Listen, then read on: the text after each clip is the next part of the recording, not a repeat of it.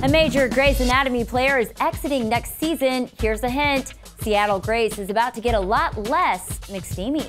Hey everyone, I'm Melana Scantlin, and TVLine.com has the details. Eric Dane confirmed that his character, Dr. Mark Sloan, would be leaving Seattle Grace Hospital next season. He thanked creator Shonda Rhimes for the experience and the memories, but after six years as the cocky, womanizing, and okay, downright lovable plastic surgeon on Grey's, the 39 year old actor is ready to pursue other opportunities, ones that require him to take his shirt off more. At least, well, that's our hope. Rhimes added that Dane did not come to this decision lightly, but after much consideration and conversations, he and I have decided that this is the right time for his storyline to end. Just how will it end is the big question, though. Last we saw Dr. Sloan, he had just watched the love of his life, Lexi Grey, die after a plane crash in the heartbreaking season 8 finale.